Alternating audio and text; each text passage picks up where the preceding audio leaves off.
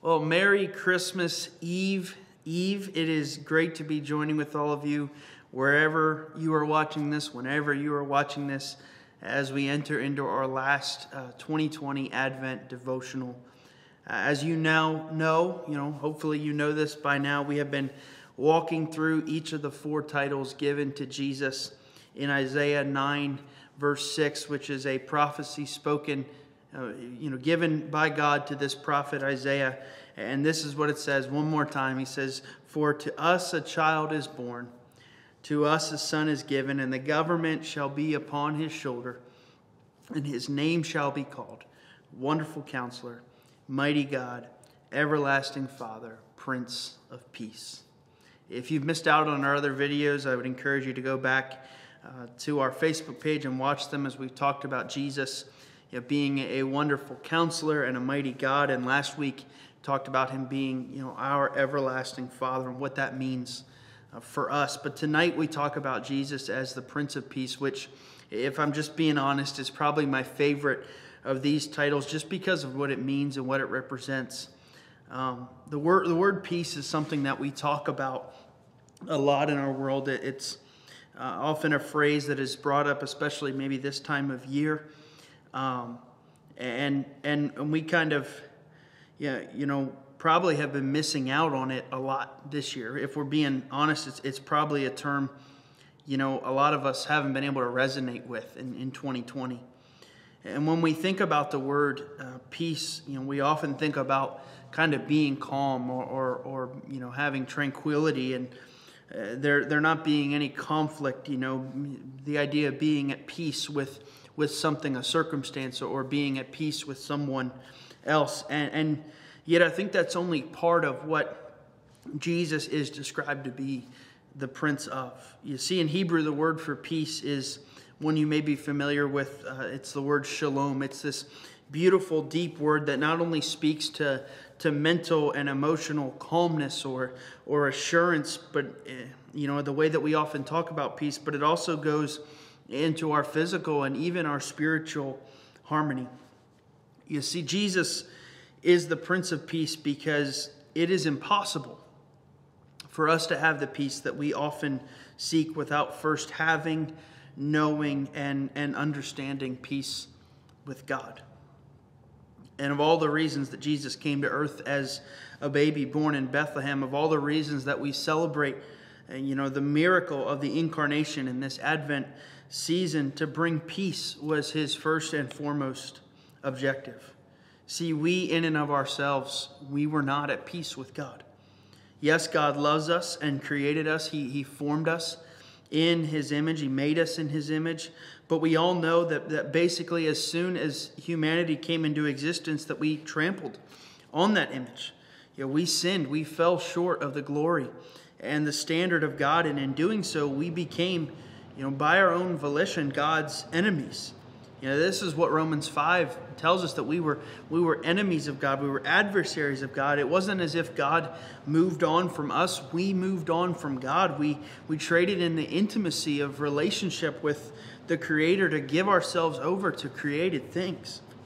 But because God does love us and because ultimately his plan for us you know, is to be with him and to enjoy him forever. God needed to make a way back for us. He needed to bring back his enemies into his kingdom. And that plans, that plan, friends, it, it took its first major step on that night that we celebrate this Christmas. Jesus came to earth. God crammed into a human body in order to first and foremost bring about peace between us and God. That was always the mission. But see, in order for us to be made right with God, to be at peace with God, we needed someone to stand in our place and pay the penalty for our disobedience. It's like getting a loan from the bank. You can't take out a loan and then not pay it back, or otherwise you're going to lose, you know, the possessions, the things that you have. That's fair. That's just. And and there was this disconnect. There was this separation between us and God because our sin had brought about a debt. You see, peace with God requires perfection because God is perfect and holy. And since we are nowhere near perfect, we needed someone perfect to stand in our place. And so, God, in His infinite mercy and wisdom, allows Jesus, the, the Prince of Peace, to take our place. He, he comes to earth as a baby, God in human form, and He stands among us. He lives like us, except He never sins. He's totally perfect, and still, even though He's done nothing to deserve it, He goes to the cross and He dies in our place. And because of that, because Jesus is punished as if He were us, and we get to be rewarded as if we were Him. His perfection is credited to us as our debt is paid for. And we reap all the benefits of having peace with God. And yeah, that means a lot in this life and world. Because you have peace with God, uh, you can know that ultimately nothing on this earth can touch you. No trial or struggle that you face is ever ultimate or unending because the God of the universe has you and you are in relationship with Him. so, yes, in this life, you can walk with a sense of calm, a sense of peace. You do not have to worry.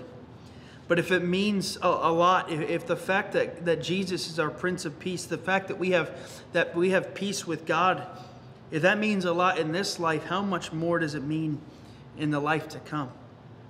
You see, someday you and I are going to die. Our life here on earth is going to be over, but because we've trusted Jesus, because we've acknowledged and surrendered to Him, and the sacrifice that He made on our behalf, you and I are going to stand before God and be found righteous.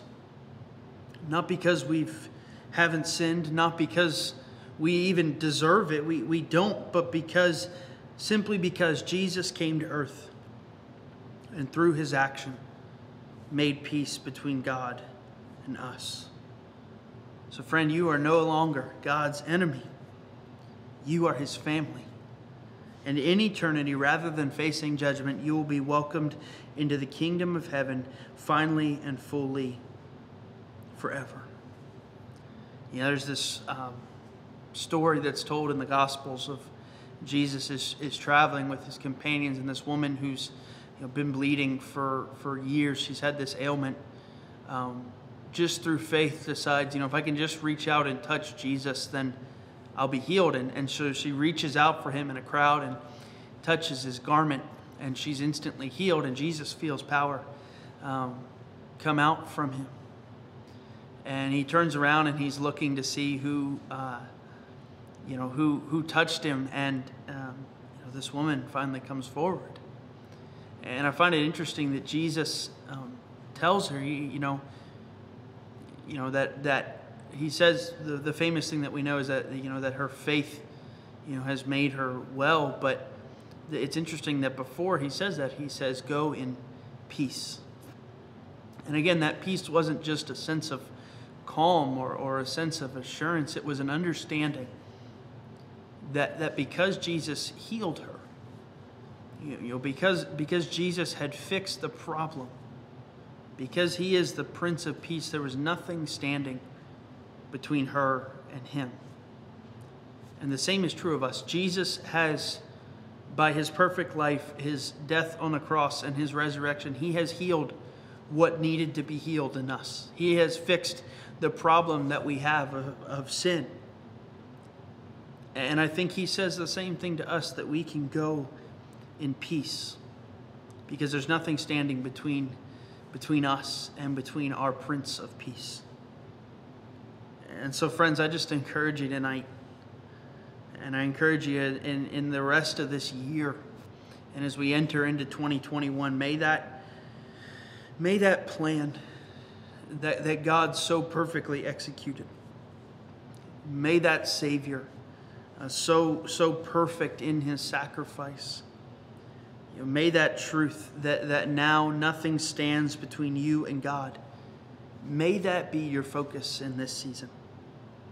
I know this year has been rough, but in this moment, as we are one more sleep away from Christmas Eve, the culmination of this season of Advent, may we turn our eyes on this Jesus, who, who yes, was born eh, as a baby of a, of a virgin in Bethlehem, but who we know is so much more than that. It's because Jesus is a wonderful counselor. May his experience and his wisdom and his love comfort you. Because Jesus is mighty God, may his strength and power uphold you. Because Jesus is everlasting Father, may his consistent presence lead you. And because Jesus is Prince of Peace, may his sacrifice and his stand in your place redeem you. Um, on behalf of, of FBCW and our, and our faith family, to your faith family, we just want to wish you a Merry Christmas.